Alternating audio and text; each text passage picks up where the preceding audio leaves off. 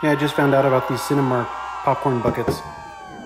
They're for the new Teenage Mutant Ninja Turtles movie that comes out on August 1st.